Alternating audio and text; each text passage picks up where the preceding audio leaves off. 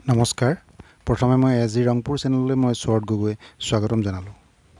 আজি মই আপোনাক সাতশ কণী ধৰা সাতশ কণী একেলগে হেচিং কৰিব পৰা এটা ইনকুবেটৰ প্ৰস্তুত কৰিছোঁ আৰু সেই প্ৰস্তুত কৰা ইনকুবেটৰটোৰ বিষয়ে আজি আলোচনা কৰিম।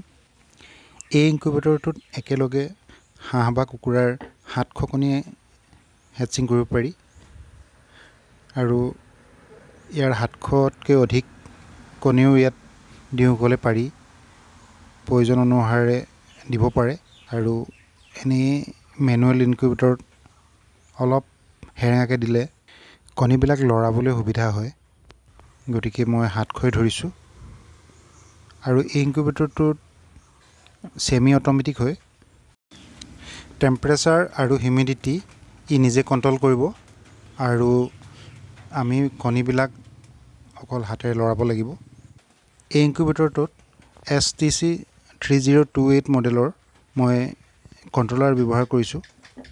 আৰু এই কণ্ট্ৰলাৰটো ইনকিউবেটৰৰ উপৰিও ডাঙৰ ডাঙৰ গ্ৰীণ হাউচবিলাকতো ব্যৱহাৰ কৰে আৰু ইয়াৰ পাৰফৰ্মেঞ্চ ভাল। টেম্পাৰেচাৰ আৰু হিউমিডিটি ই একেলগে কণ্ট্ৰল কৰিব পাৰে। ইয়াৰ টু টুৱেণ্টি ভল্টত ই পোনপটীয়াকৈ চলে। ইয়াৰ বাবে কোনো এডাপ্টৰৰ প্ৰয়োজন নাই। ইয়াৰ ছেটিংছৰ বিষয়ে মই আজি এই ভিডিঅ'টোত দিয়া নাই। মই আগতে ভিডিঅ' বনাই থৈছোঁ আৰু আপুনি সেই ভিডিঅ' চাই মই লিংক দি দিছোঁ ছেটিং কৰি ল'ব পাৰে। এইটো হৈছে S T C three zero' two eight এইটো টেম্পাৰেচাৰ আৰু এইটো হিউমিডিটি নীলাটো হিউমিডিটি আৰু এইফালে এইটো টেম্পাৰেচাৰ। ইয়াক ছেটিং কৰিবলৈ বিশেষ অসুবিধা নহয়। ইয়াত মই টেম্পাৰেচাৰ থাৰ্টি ছেভেন পইণ্ট ফাইভৰ তলত আৰু থাৰ্টি ছেভেন পইণ্ট ছেভেন ওপৰত দি ছেটিং কৰি ৰাখিছোঁ। হিউমিডিটি আপুনি বেলেগ বেলেগ ছেটিং কৰিব পাৰে। আৰু এইটো হৈছে ৰেগুলেটৰ আৰু এই ৰেগুলেটৰটোৱে ভিতৰত যিখন ফেন লগাইছোঁ সেই ফেনখন আপুনি কম বেছিকৈ চলোৱা ব্যৱস্থা কৰিব পাৰে বা অফ কৰিবও পাৰে। সেইটো সুবিধা আছে। আৰু এই চুইচটো দিছোঁ এই চুইচটো হৈছে মই ভিতৰত এটা লাইট দিছোঁ আৰু সেই লাইটটো মই প্ৰয়োজনত জ্বলাই ভিতৰখন পৰ্যবেক্ষণ কৰিব পাৰোঁ। এতিয়া মই আপোনাক ভিতৰখন দেখুৱাম। ইয়াত মই ট্ৰেবিলাক কেনেকৈ দিছোঁ ফেন কেনেকৈ লগাইছোঁ। এই ইনকুবেটৰটোত মুঠ মই ডাঙৰ ট্ৰে চাৰিখন দিছোঁ আৰু এখন সৰু ট্ৰে আছে। এই ডাঙৰ ট্ৰেকেইখনত দুটা পাৰ্ট আছে এটা পাৰ্টত আশীটাকৈ কণী ধৰিব। আৰু তলৰখনতো আশীটা কণী ধৰিব। আৰু এনেকৈ সাতশ বিছটা হয় কিন্তু মই সাতশই ধৰিছোঁ। আৰু এই সাতশ কণীৰ ভিতৰত যদি ছশ কণীৰো পোৱালি ওলায় কুকুৰাৰ পোৱালি তেতিয়াহ'লে আপুনি সেই ছশ পোৱালিৰ পঁচপন্ন টকাকৈ তেত্ৰিছ হাজাৰ টকা আমি পাব পাৰোঁ। আৰু সেই তেত্ৰিছ হাজাৰৰ তিনি হাজাৰ টকা লাইট আৰু কাৰেণ্ট আৰু কণীৰ কাৰণে যদি বাদ দিওঁ তেতিয়াহ'লে আপুনি এবাৰত ত্ৰিছ হাজাৰ টকা লাভ কৰিব পাৰে। অৱশ্যে এনেধৰণৰ ইনকুবেটৰত নাইণ্টিৰ ওপৰতো নাইণ্টি ফাইভ পাৰ্চেণ্টো আপুনি পাব পাৰে আৰু কণীবিলাকৰ ওপৰতে নিৰ্ভৰ কৰে। কণীবিলাক প্ৰজননক্ষম হ'ব লাগিব। এইখিনিতে আপোনালৈ এটা সৰু ৰিকুৱেষ্ট আপুনি যদি মোৰ চেনেললৈ প্ৰথম আহিছে তেতিয়াহ'লে ছাবস্ক্ৰাইব কৰিব লগতে বেল আইকনটো দবাই অল কৰি ল'ব। আৰু যদি ভিডিঅ'টো চাই ভাল পায় লাইক কৰিব আৰু লগতে বিভিন্নজনলৈ শ্বেয়াৰ কৰি দিব। এই বক্সটো বনাওঁতে মই টুৱেলভ এম এমৰ প্লাইউড ব্যৱহাৰ কৰিছোঁ। আৰু ইয়াৰ ভিতৰৰ ফালে মই গোটেই বক্সটোতে এলুমিনিয়ামৰ প্লেন চিট লগাই দিছোঁ আৰু তাৰ তলত টুৱেলভ এম এমৰ থাৰ্মকল ব্যৱহাৰ কৰিছোঁ। থাৰ্মকল ব্যৱহাৰ কৰাৰ উদ্দেশ্যটো হৈছে মই ভিতৰৰ টেম্পাৰেচাৰটো ই ধৰি ৰাখিব পাৰে থাৰ্মকলে। আৰু আপুনি থাৰ্মকল নলগোৱাকৈও যদি এনেকৈ বনাই লয় তেতিয়াও হ'ব কিন্তু বিদ্যুতৰ বিল আপোনাৰ বেছিকৈ আহিব। কাৰণ টেম্পাৰেচাৰ আপোনাৰ ধৰি ৰাখিব নোৱাৰে। গতিকে লাইটটো বেছিকৈ জ্বলিবলগীয়া হ'ব। আৰু বেছিকৈ লাইট জ্বলিবলগীয়া হোৱাৰ লগে লগে আপোনাৰ কাৰেণ্টৰ বিলবিলাক বেছিকৈ উঠিব। আৰু সেইবাবেই ভিতৰত থাৰ্মকল লগাই দিয়া হয়। আপুনি যদি প্ৰথম ফাৰ্ম খুলিবলৈ বিচাৰিছে তেতিয়াহ'লে আপুনি প্ৰথমে এনেকৈ মেনুৱেল এটা ল'ব। আৰু অট'মেটিকটো আপোনাৰ বহুত বেছি খৰচা পৰিব। এইটো যদি আপুনি ত্ৰিছ হাজাৰ মানৰ টকাৰ ভিতৰত যদি কিনি আনে তেতিয়াহ'লে আপুনি অট'মেটিক যদি বনাই লয় তেতিয়াহ'লে ইয়াৰ দামটো হ'বগৈ প্ৰায় পঁচপন্ন হাজাৰ ষাঠি হাজাৰ ওচৰা ওচৰি এই ইনকুবেটৰটোত পাঁচশ ৱাট লাগে আৰু গৰম দিনত ইয়াত অলপ কমকৈ লাগে। তেতিয়া আমি বাল্ববিলাক কম ৱাটৰ লগাব পাৰোঁ আৰু ইনভাৰ্টাৰতে আমি এই ইনকুবেটৰটো চলাব পাৰোঁ। যদি আমি ইয়াতকৈ ডাঙৰ ইনকুবেটৰ এটা বনাই লওঁ তেতিয়াহ'লে ইনভাৰ্টাৰত অলপ দিগদাৰী হয় জেনেৰেটৰৰ প্ৰয়োজন হয়। ইয়াত মই চব পিছফালে এখন জালি লগাই দিছোঁ যাতে আমাৰ ট্ৰেবিলাকত যেতিয়া আমাৰ পোৱালি ওলাব আৰু সেই পোৱালিবিলাকে ট্ৰেখনৰ পৰা সিটো ছাইডে যাতে পৰি নাযায় তাৰ বাবে মই জালিখন লগাই দিছোঁ। ইয়াত মই যিখন ফেন লগাইছোঁ এই ফেনখন বাজাজ কোম্পানীৰ হয়। ইয়াক এক বছৰ গেৰাণ্টি আছে। আৰু এইখন এগজাষ্ট ফেন হয়। এগজাষ্ট ফেনখন মই তাৰ যিডাল হেণ্ডেল খুলি ওলটাই আকৌ মই তাক ইয়াত ফিটিং কৰি দিছোঁ। ইয়াত মই চাৰিটা বাল্ব লগাইছোঁ হিটাৰ বাল্ব। আৰু এই চাৰিটা বাল্বেই গোটেই বক্সটো হিট কৰি তুলিব। কাষতে এটা এল ই ডি বাল্ব লগাই দিছোঁ। আৰু সেই এল ই ডি বাল্বটো মই প্ৰয়োজন অনুসাৰে ই ভিতৰখন চাবৰ বাবে ছুইচ দিলে ই জ্বলিব। ইয়াৰ বক্সটোৰ পিছফালে মই ওপৰত এটা হোল কৰিছোঁ আৰু তলফালে এটা হোল কৰিছোঁ। এই ইনকুবেটৰটো মই প্ৰথমৰ পৰা ভিডিঅ' কৰা নাছিলোঁ কিন্তু কেইটামান ষ্টেপ মই ৰাখি থৈছিলোঁ। গতিকে আপোনাৰ সুবিধাৰ বাবে মই সেই ষ্টেপকেইটা এই ভিডিঅ'ৰ লগত সংযোগ কৰিলোঁ।